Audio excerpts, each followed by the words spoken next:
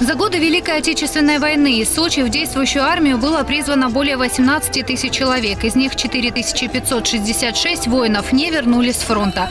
17 сочинцам присвоено звание Герой Советского Союза, 8 из них посмертно.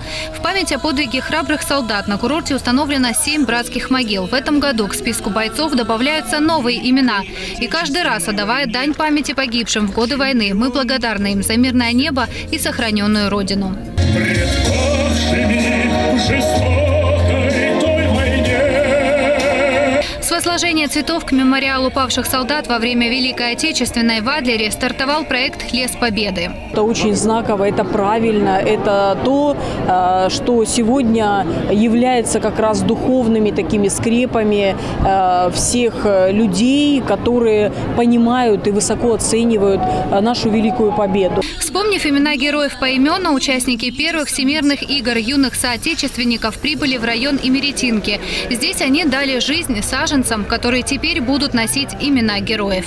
Народный проект поддержали 80 регионов России и ряд зарубежных стран. На каждое дерево выдается сертификат, в котором указывается, кто посадил саженец и в честь кого. Кроме того, у всех участников акции есть георгиевские ленточки. Одну повязывают на ветку саженца, другую зеленые пионеры заберут с собой в город, чтобы украсить ею еще одно посаженное дерево. Международную дружину «Зеленые пионеры» приняты все ребята, участвующие в проекте «Лес Победы».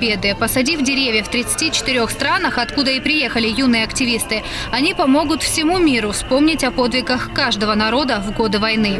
Я очень уважаю то, что, в общем, наши предки сражались против фашизма. Очень много книг читал, но, в общем, пытаюсь отдать память им, ну, как можем. В общем, делаем то, что сможем, чтобы, в общем, память была вечной.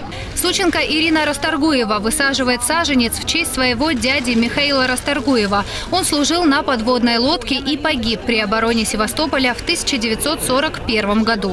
Для меня это большое значение имеет, потому что не имея могилы э, дяди, мы будем приходить к дереву, будут сюда приезжать наши родственники со всей России.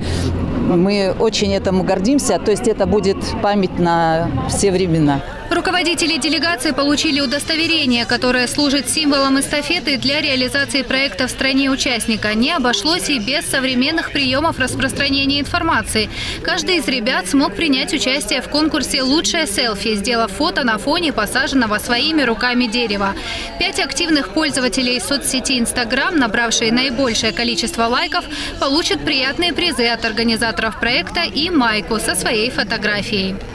Татьяна Говоркова, Демид Даниловский, телекомпания «ФКТ».